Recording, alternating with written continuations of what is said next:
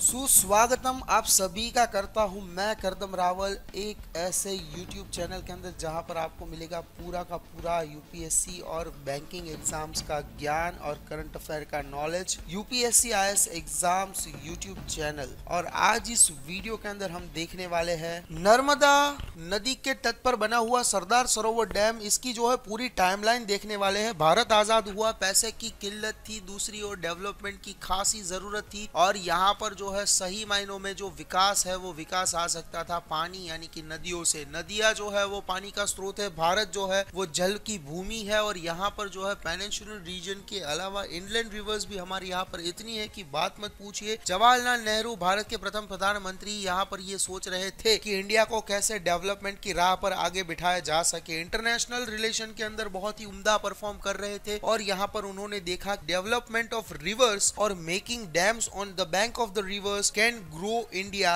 industrially as well as agriculturally तो यहाँ पर जो है एग्रीकल्चर के सेगमेंट में सबसे पहले फ़ायदा पहुंचाना ये जो है, वो पहला मकसद था और पहले है से और आज तक हम जो है एग्रेरियन नेशन के रूप में दिखाई पड़ते हैं पूरे इंटरनेशनल लेवल के ऊपर। तो यहाँ पर जो है, पाँच अप्रैल 1961 के अंदर जवाहरलाल नेहरू ने इस प्रोजेक्ट को शुरू किया और फाउंडेशन नींव रखी और नींव के अंदर नाम दिया इस प्रोजेक्ट को सरदार सरोवर डैम, जिसके अंदर सरदार वल्लभ भाई पटेल का सरदार वर्ड आता है। तो यहाँ पर जो है मेनली इसका पर्पज था कि किस तरीके से फार्मर्स को इसका फ़ायदा पहुँचाया जा सके। अब आप समझ सकते हैं कि किसी भी एरिया में अगर रोड नहीं है और वहाँ से रोड बन रही है तो क्या होगा? यहाँ पर पहले लैंड होगी लैंड जो होगी, वो शायद हो सकता है कि फार्मर्स की हो फार्मर्स की लैंड के ऊपर वो फ़ार्मिंग करता है तो अगर वहाँ से रोड निकलता है तो सरकार को उसको मुआवजा देना है। अब ये तो बात हो गई कि रोड बनाना है तो रोड जो है उसकी छोटी सी पट्टी होती है, सौ फुट, डेढ़ सौ फुट, चार सौ फुट। तो यहाँ पर जो है, इस तरीके से यहाँ कम नहीं होता। है। यहाँ पर जो है नहर निकलेगी नहर निकलेगी, नदी निकलेगी नदी निकलेगी, डैम बनेगा डैम बनेगा, जगह चाहिए जगह चाहिए, पानी स्टोर होगा, पानी स्टोर होगा, प्लांट्स लगेंगे हाइड्रो इलेक्ट्रिक प्लांट्स भी लगेंगे और यहाँ पर बहुत सारी ज़मीन जो है इसकी व्यवस्था करनी पड़ेगी और यहाँ पर जो है गुजरात, महाराष्ट्र, मध्य प्रदेश और राजस्थान चारों स्टेट इस नर्मदा नदी जो अमरकंटक से निकलती है, उसके ऊपर बनने वाले सरदार सरोवर डैम के यहाँ पर जो है वो इंक्लूड करते थे अपने प्रॉफिट्स तो यहाँ पर जो है जो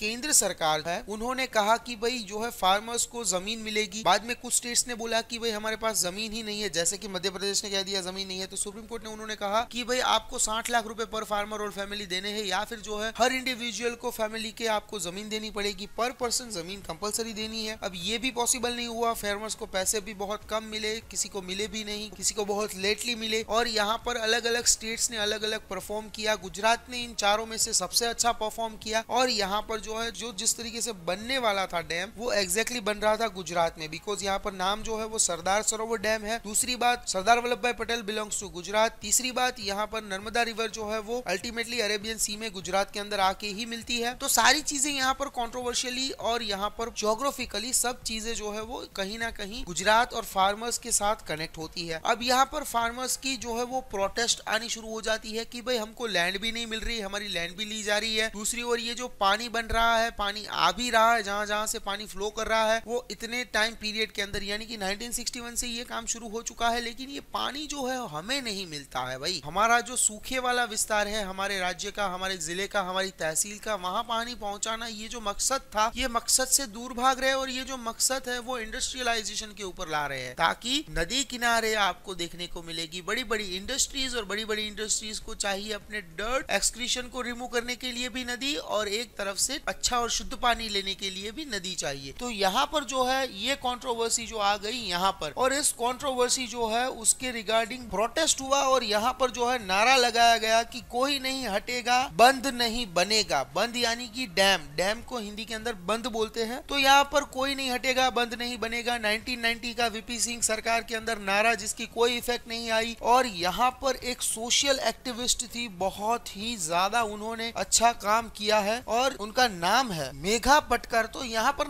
1985 से ये लड़ रही थी और यहाँ पर इनके साथ जो है वो 3000 डैम्स को बंद करवाने के लिए ये जो प्रोजेक्ट है, इसके अंदर 3000 छोटे बड़े डैम्स बनने वाले थे। बाबा आमटे, ये भी एक बहुत ही बड़ा नाम है इतिहास के पन्नों के अंदर। इन्होंने इनको सपोर्ट किया, लेकिन सरकार कितनी भी आके चली गई, कोई भी पॉलिटिकल आप देख लो पार्टी किसी ने भी इनकी नहीं सुनी। कितनी ट्राइब्स यहाँ पर जो है वो परेशान थी। आदिवासी और आदि जाति लोग जो थे एस सी कम्युनिटी को बिलोंग करने वाले, सबको यहाँ पर परेशानी थी, तकलीफें थी। मुआवजा मुआवजा नहीं मिल रहा था, पैसा नहीं मिल रहा था, ज़मीन नहीं मिल रही थी और बाद में जो है इसके रिगार्डिंग जो वर्ल्ड बैंक ने 450 बिलियन की लोन दी थी, वहाँ पर वर्ल्ड बैंक ने हाथ खड़े कर दिए और कह दिया कि पैसे जो है अब हम नहीं देंगे। तब जाके कहीं ये प्रोजेक्ट रुका और फिर से जो है इसने पकड़ बनाई। इसकी हाइट बढ़ाने की बात हुई तो यहाँ पर कई लोगों ने इसका विरोध किया और कुछ सेलिब्रिटीज और पॉलिटिकल पार्टीज़ के कुछ उमदा लीडर्स ने यहाँ पर इसका सपोर्ट किया, जिसके अंदर आमिर खान एक कॉन्ट्रोवर्सियल नाम रहा था उस टाइम पीरियड के अंदर उनकी मूवीज़ को जो है वो